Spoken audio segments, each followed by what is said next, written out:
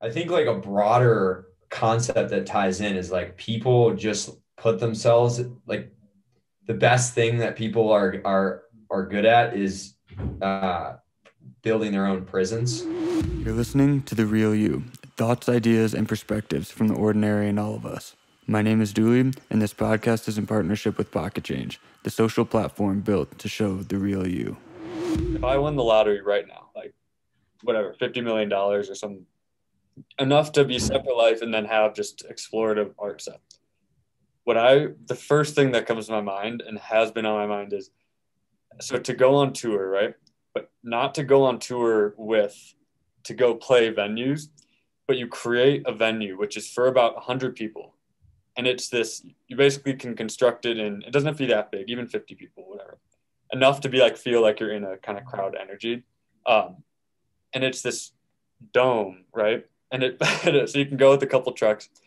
And it's this dome that becomes a fully like you go in you lock your phones up before you enter into this dome. The performance dj thing is kind of like hanging right from above but it's also moving in the dome. The floorboards themselves are subtly shifting at all times so not like noticeably. And then obviously the whole dome is this light laser situation. Whoa. and then you actually bring in on top like you know how speakers sometimes provide like the feeling of like wind in a way mm-hmm. they have like almost little like wind guns and you can dribble water from the top or have like heat textures start to come in and it becomes a literally Whoa. full like enter into another world for an hour two hours whatever it is and that's and you could actually do multiple performers um mm-hmm. custom light setup and choosing of um, if you want to do like rain or wind and stuff like that. Yeah. that is 100% if I won the lottery, the first thing that comes to my mind. is That's so cool. That. But, um, and it, the weird thing is it's kind of possible. Not that it would be that I think it is profitable, yeah. but it's under a certain amount of money to like build that kind of stage. You can get all the same speakers and everything. It's just layering it into the design of the stage and then or of the no. Yeah, I, I was talking to um, somebody that uh, I met through that group I joined in uh, Denver Archipelago, um, and he he, I forget like what the name of the organization is, but they're like one of the biggest um, like pe- they're like a staple at Burning Man every every time, and like yeah, yeah, yeah. they basically set up these domes, um, and they're I think their specialty is sort of like fire. Mm-hmm. Um, that's like their thing. Like they have like fire shooting up from the stages mm-hmm. and fire coming off the top of the domes and like just huge, huge amounts of fire. Yeah. Um, and they, they'll come into a city and construct these domes, like these fire venue domes, and have sick artists play there and take it all down, like Burning Man style. Yeah, yeah. Um, that could almost be like a cool way to operate your yeah. thing is if you could make it like modular enough and like make it something that you could like come into like Denver or come into Vegas or Miami or wherever and like set it up and like do a show and take it down like that would add like a whole nother element of like I was gonna say the thing is is going into it with the tour mentality is you don't do you don't just tour do one night and then go on to the next. It's like it's a very limited capacity show. So it becomes this thing where you mm-hmm. actually kind of like pull up almost like food truck style where you just hang yeah. out in the city for a bit. yeah, for like a few months. Yeah, like and it's just the same thing. Have you been to the um, immersive Van Gogh thing? Uh, no, I did go to Meow Wolf. oh, okay, yeah, that's kind of a kind of a. I got lost in there pretty quickly, but um. yeah, me too. what did you think of Meow Wolf? I was, I thought it was like very obviously cool and what it was like it was. Um, yeah. Yeah, that's almost like all I have to say is I was like I I, I wholeheartedly agree with the sentiment you're putting off. Yeah, yeah, yeah, yeah. Like I'm like cool. I'm, whatever yeah what's going on with your guys' vision of this, like yeah, good did, good good on you. you did it, yeah. um but uh, so with the immersive Van Gogh, though, they also set up basically in a building these big LED walls, and then you have some cool and everything. It had the music with it. Um, but I'm basically with the vibe of, and what they're doing is they just set up in cities and they do multiple month runs of it, uh, and then you're out. However, that is again a little bit um, underwhelming in what compared to what I'm talking about with like how much more of an intense experience I'm sort of looking to, yeah. to provide. But no, all fi- all five senses, right? Yeah. Oh yeah. And and it's have you ever um, worn a sub pack? I uh, haven't worn one. I've heard about them though. Okay, so yeah, it's a little back like bass backpack thing. Mm-hmm. Um, the first time you listen to it, and honestly, even every time I put it on, you kind of get obviously you get shook as in physically by the bass, but you get almost shook at how different it can something that's so familiar can sound or something like Do you have one? Yeah yeah yeah. So i have one yeah. Oh i need to try it out dude. Yeah yeah yeah. My my buddy actually gary um, shout out g-dubs but he uh, just no you met gary. Yeah he left he like gave it to me. He's like oh yeah i can't really you know fit this in my stuff. I'll like this will be my gift wow. I'm like wow. I gotta come over and try that. I've yeah. i've wanted to try one for a while. Yeah no they're, they're awesome but the the cool part about it is songs that you've been listening to for years in big car with the big sub, like full loud headphones. It's just different. Like it's a different mm-hmm. way of listening to it. Um, and you eventually get used to it as you're there for 20 minutes, kind of dabbling with stuff. But every time you put it on for the first time, you kind of forget that it's just different. Mm-hmm. And so that's also where um, I think tapping into a full immersive experience can come is it's not even, it's just the lack of even having a central point like the fact that there's a like performer or DJ or audio person running the set above and it's kind of like moving. It's like you're not actually just watching them and the visuals mm-hmm. have no central. And if the thing's moving, you become instantly disoriented by what it is you're being told to focus on. And then you go mm-hmm. totally inwards to yourself of like, I'm, is it where the other people are facing? Is it how I'm facing and dancing or sitting there absolutely not moving like whatever the vibe of it is um it becomes separate of like being directed into it and like your own way of taking it all in. So even those sort of intentional pieces to what a live show can actually be um, yeah like almost intentionally like disorienting people yeah. so that they go inwards. No i i like that idea I hope psychedelics are legal by the time you do that, so you can just like you have to take a gram to come in. There's a little shroom booth on the outside that you. yeah. Yeah, that's funny. Um, but yeah, so I don't know. That's where. But it also. So, yeah, go. Sorry. Uh, well, I I wanted to get back to the um, what we were talking about a little bit earlier of the just sort of vision for like what are you optimizing for? Oh, yeah. um in terms of just like what do you want? Yeah like where do you want your life to go just with like creating things and like how are you you know paying for your life and that side of things? Um i think some, something i just wanted to say on that was i've been coming to terms with the fact that my life and interests are just much more cyclical than I would have liked to admit. Um, and I've just really been like coming coming to terms with it, but also like growing to enjoy it and not let it like stress me out so much. Mm-hmm. Um, and like, yeah, I, I, have just noticed over the past like six months, mm-hmm. almost every month has been an entirely like fully engrossing like new thing where I almost put everything else on the sidelines. Yeah, yeah, yeah. Wait, what? Go go deeper on that. What do you mean by like it's become sick like cyclical or like how does yeah so it's almost like like seasons are too slow it's almost like uh cyclical like every few months it's like a totally new um just just a totally new thing for me, like a totally new interest set of interests and priorities. Mm-hmm. Um, like yeah, I, I guess example for example, um, for the for the month leading up to uh, you know, kind of Christmas holidays time, I was just working all the time.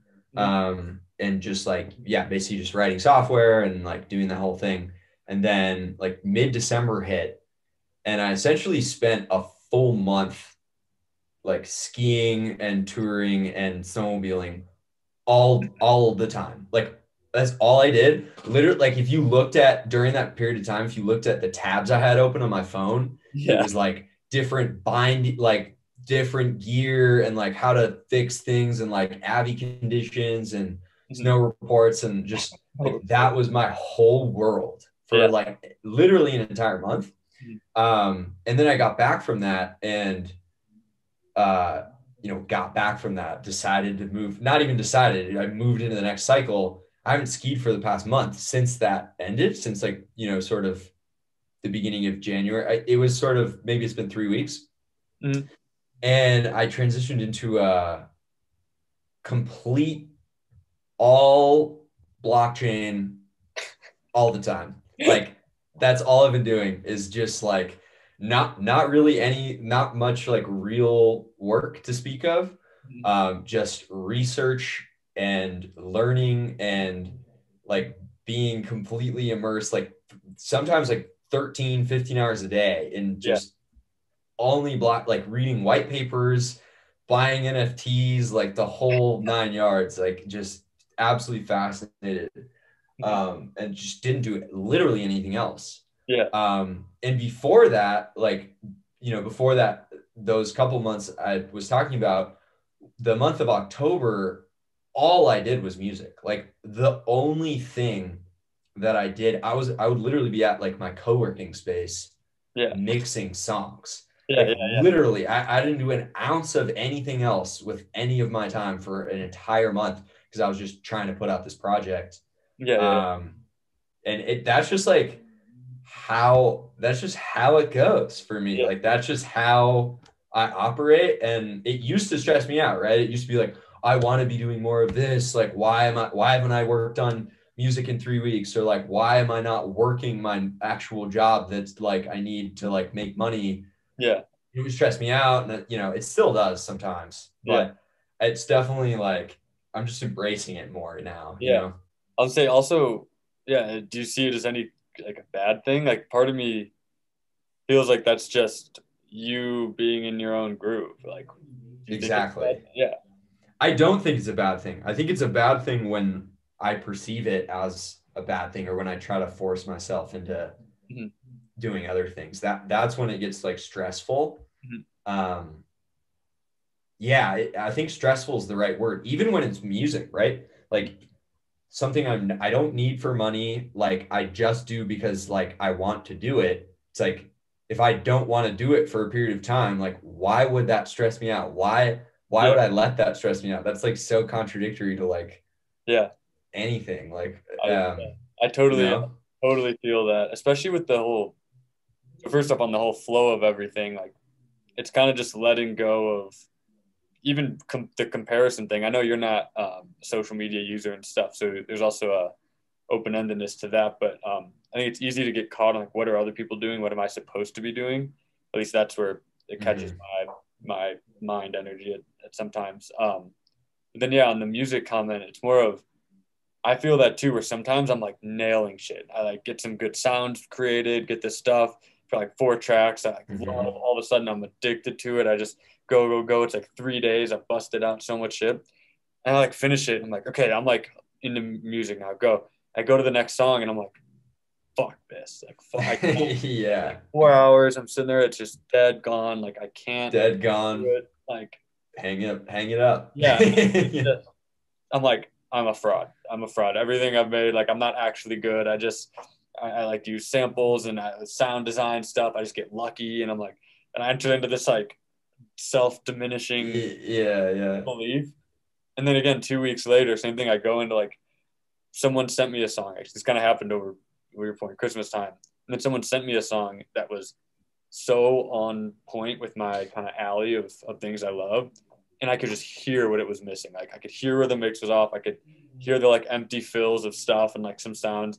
And I was like, fucking send me this. In two days, smashed it out of the park. Like, send it back. She was like, fuck yes. I'm like, yes. And ended up having a new friend from that too. It kind of whole story there. Um, but hey. basically there's kind of these just waves of two days later I've got a new fucking thing I'm like most excited about and two weeks of just self doubt and pain. Yeah. and also to your point, why am I stressed out about lack of nailing it every time when that's first off the reality of any creative process. And then second, it's like I'm just doing this because I love to do it. The second I'm putting this weird pressure of I have to do it is like it's weird, right? It's like it, it once you go into it, it's like, why do I do that to myself? Like there's no there's nobody that wants me to make music except for me. Like no one cares like yeah. if I'm making music or not, like except for me because I, like I it's almost like the difference between actually wanting to do something and like thinking you want to do something. Yeah, yeah, yeah, yeah. You know, and like convincing yourself over such a long period of time that like you want to design your life around this thing and like you it's just it's it's all stories and fake yeah. except for the those moments where you're intrinsically like I really just am drawn to music right now and like following that. Dude, um, today, literally today. So we're going to Steamboat. Um, the, my buddy's got the condo thing they were doing. Like our roommates are going, another friend. So we're doing like a, a whatever guys hang out thing. They're all gonna go skiing, right? And I'm on this self dilemma of I actually don't even love skiing that much or snowboarding, and I've had the, the injuries, and at this point I'm kind of like over it. like I'm just like yeah, I'm just like scared I'm gonna hurt myself. And when I get up there, all my friends just go leave and rip the fucking double back flip shit, and I'm like now I'm just alone by myself on the mountain, kind of like why am I doing this to myself? It can be really fun, but this morning I'm like, do I go? Do I go? And then I was like, no, wait. I'm like, wait a sec. I'm gonna. Uh, of course, I'm going to Steamboat. I love to just hang out and be there. I actually love the mountain mm-hmm. town feel and being going to grab the beers after. But I'm like, I'm fucking making tortilla soup on Saturday. I'm yeah. ripping this. The boys are gonna come back all cold and chilly from their snow thing, and I'm gonna have a fresh fucking batch of homemade tortilla soup. Hey, and literally, it's be sick, dude. Yeah, dude. Even talking about it now, I'm like, I don't want to go snowboarding. It's not. I don't want to. I just. Uh, I want to go. Yeah. We did this thing and uh, we were in San Miguel, and we did this cooking um, class and made the tortilla soup, and then made it against once with Tina. And now I'm like, I think I can just get it down by memory if I just do it sort of one more time, or at least understand soups better. Mm-hmm. This is the time. This is I've got all day where I'm just gonna go have some beers. Maybe I'll just do a bottle of wine to myself and it sounds work, awesome. Yeah, work on the beats for a sec, or let the yeah let the stew kind of go. Or, oh, I was talking about in the stew. hundred percent. Yep. um, but yeah, it's a little bit of clarity. Like, why am I trying to pretend I want to go snowboarding right now? Yeah, I actually do. We do it all the time yeah. to ourselves. It's yeah. it's the weirdest thing. Like people, I think like a broader concept that ties in is like people just put themselves like the best thing that people are are are good at is uh, building their own prisons. Mm-hmm. Like you're free as a bird. You can do whatever you want, and then you buy a bunch of things and you get into a bunch of financial debt and you have all these responsibilities and expectations on yourself and you just ruin it. Yeah. yeah. like every time. Yeah. You just getting that nicer car to look a little flashier to then get the thing. Yeah match it. Or even in this context, like you, you know, you you you let yourself be driven by like these false sort of you know expectations that you put on yourself like i should want to go skiing yeah yeah fuck that like yeah, yeah. and that's the thing too is it's it's a weird because there's a the balance to it also which is i've actually had a lot of fun doing the skiing snowboarding like today and this weekend i just don't want to and it's I shouldn't have to. Like, who else am I even trying to convince? Like, they're gonna go have yeah. their the mountain. They're probably gonna be more annoyed if I'm sitting there trying to get a run in with them, and they're like, "Yeah, good for you, but uh, this is kind of ruining our time now." so, um, yeah, I don't yeah. know. I'm just I love it. Like, but it's also hard in a lot of other like even okay topic of uh like the move into Thailand thing, right? That's something mm-hmm. I like that's not like a made up thing. Like I genuinely want right. Thailand, not for a long period of time, but for by long, I, I basically a year just to mm. do music, live cheap, enjoy the food, go around the culture. It's got the mountains and the, the beaches and all the stuff. And but then there's this like pressure on. I guess it's like the social. I'm basically not in the short term. My fear of it is like the social isolation, but it's mm. kind of like the expectation of what is it that I'm actually seeking out here in Denver? Is it like going out to the bars? Is it the human conversation. Like if it's the human conversation, I can still have that in Thailand and catch up with friends, but it's also different. Um, I don't know, but I think about that as uh, what is it that sort of keeps us in our mm-hmm. in our spots, um, which also is not a bad thing. I don't think it's a bad thing. I'm in Denver. I fucking love it here. When I came back over the past um, month, I was doing some travel stuff and I was with my parents. I got back to Denver and I was like, whew, okay, like we're back. I made it. Like there's just like a weird yeah. warm comfort. Um, it's a good thing. Um, but no, I think it's like it.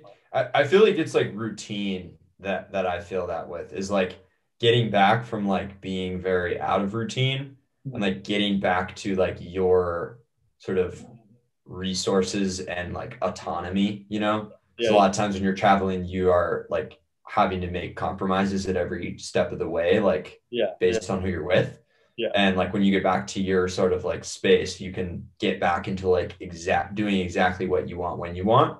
Yeah. Whether it's, you know, like physical exercise and like getting work done and like having the studio and like that to me is really what I get back and I'm like, oh, thank God. Like traveling sweet, but like this is awesome. Yeah. Um, I think another like interesting lens to look at this through is uh, Benny, our mutual friend, just moved to our mutual Mexico friend. City. Let's talk about Noah Binstock. Um, he he wanted to move to Thailand also, right? And I was talking about this the other day with him, and he was like, "Yeah, once I got to Mexico City and sort of realized like I was just putting Thailand as like the placeholder for." what I really wanted was to be in new places, meeting new people, like learning about new culture mm-hmm. and um, like moving from place to place and seeing what sticks in terms of like stripping back your ego and like Mexico City is getting all like checking all those boxes for him and he now like is thinking about living there more long term mm-hmm. and uh, I think that's a good illustration of like nailing down like because for me it's Australia. Um, what about what about this place that like we have sort of up on this pedestal? Yeah. What about it is it you know because I think you went to Thailand. Uh, yeah, and, and so it's always like places we've been too, right? It, it's like it's almost chasing like experiences and feelings and like intangible things that probably you can find in many places. Yeah. Oh yeah. Um, a lot of it's novelty, right? Um, and so, what's that? But accept the prices. yeah, except for the prices. Yeah. but no, yeah, no, no, no. That's a good point. I mean, that is one of the appeals of of of Thailand for sure. Mexico City seems pretty cheap too. Yeah. No. Yeah. Yeah. And that's the thing. There's a lot of, especially if it's just lifestyle too. If you learn how to shop appropriately and like, yeah, find the right spot to live and yeah, I mean, Benny's been sending me pictures of of tacos. He's like, yeah, dollar fifty for these three tacos, and yeah, pays four hundred bucks a month in rent. Like, yeah, yeah, not not not bad, especially if you can get not bad. You got a good remote job, and you're just exploring around there. There's so much like natural, just beauty and social realms to like explore in that. So yeah, I think I'm moving to Australia officially in at the be- beginning of next January. Whoa! Drop the yeah. Here we go. What's the how? What, more info. Go. um. I yeah. I, so it. I think it's become like less just like my dream and more Anna and I's dream. Mm-hmm. Um. It's like, like I think if I, like if she died or something tragic happened uh, I don't think I would actually go to. I don't think I'd want to go to Australia anymore. Like it's really become like our dream. You know what I mean? like, yeah, yeah, yeah, yeah. Um, but yeah, we've been. It, it just. Uh, it I don't know what it is. Like I think just one more like round of like holidays and sort of like being with you know another year of like being with friends and family here and like really enjoying it. It just feels like the right amount of time to like just nail a date to the wall and like start being able to actually like apply for visas and like mm. really actually start like digging into the yeah. logistics of of actually going there. Yeah. Um, but yeah, it just feels like the right time. I actually had some uh some friends um who did that. I don't know if it was Australia and New Zealand or what, but they stayed for a very extended period of time. Maybe I can uh link you up with them and yeah. What's do. so what's like the fine like are you basically you you think it's next basically a year from now, Jan one kind of thing? Is that yeah, exactly? Are you nervous mm-hmm. about the whole COVID stuff? Like I feel like I've been just hearing the yeah of intensity and how they treat that. That that was another reason that it you know sort of kept being pushed off. Um, it does feel like it's clearing up a little bit there. Um, just from things I've read, like they're a little bit like we're fed up with this shit. Like, no more mask mandates. Like, that's kind of the sentiment I, have been seeing hmm. out of like the sort of politicians there. Um, but I think at the end of the day, like, it's it's not in any like really extreme lockdowns anymore. Um, I think everywhere has its. I think if you were in the U.S., you would think that the U.S. was like not a good spot to be right now in terms of our COVID stuff that's going on, except for like Texas and Florida and stuff. But I, I think it's one of those things where like I just I'm done like listening to people be like, oh, but it's probably like there's all these like mandates and like this and that. It's like, well, that's happening here too. Like I just want to go there, feel it out, see like what the actual deal is. Yeah. I want to be able to surf every day. Like that that to me is just like a lifestyle that I need. Yeah. At this point, like I just I need to surf every day. Like that is like yeah, yeah. it just yeah. uh, but a certain type of thing. Yeah. Um, I totally, yeah. Oh yeah. But well, um, awesome. We're also getting to the last little like basically hour here. Um, any other last last thoughts on anything? um no, keep keep living. Don't uh don't let the uh self expectations of what you should want to do guide you. I feel like that's kind of the, the takeaway from this.